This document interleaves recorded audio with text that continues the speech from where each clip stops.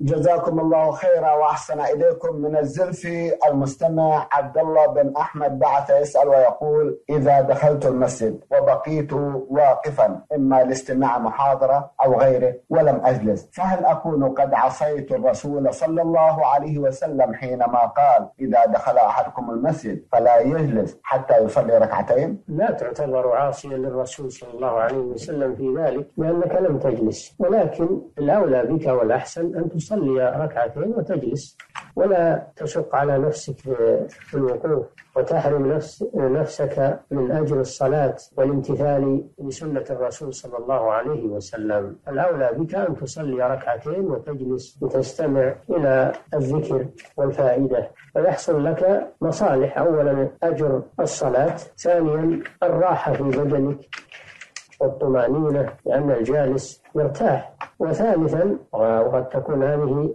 هي الأولى العمل بالسنة بسنة الرسول صلى الله عليه وسلم وإحياؤها. نعم.